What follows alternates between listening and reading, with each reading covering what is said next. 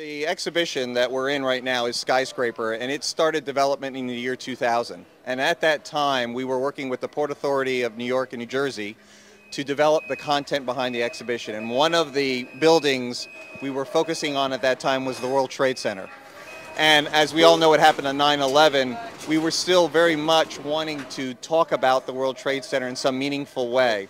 As part of the exhibition, we have two pieces. One is the, one of the main foundational columns of one of the of one of the towers, and the second will be in this curved uh, circular stand, and that piece of steel shows the amount, the tremendous forces that were were played on the building during its destruction.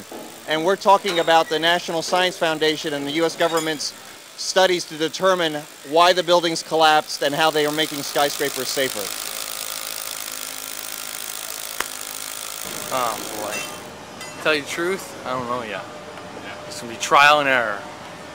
I'm gonna try to bring it in, set it on top of the rig, and then drop it in a hole. If that doesn't work, we're gonna try something else.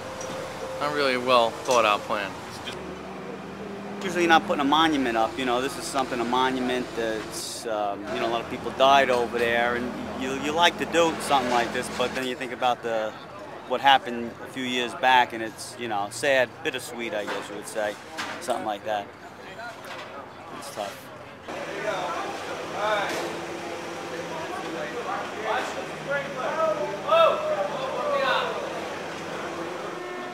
have to go down and take a rap. What? Just choke it.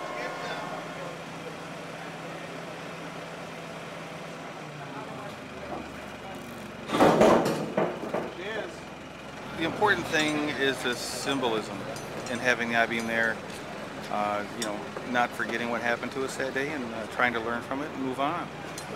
Firework.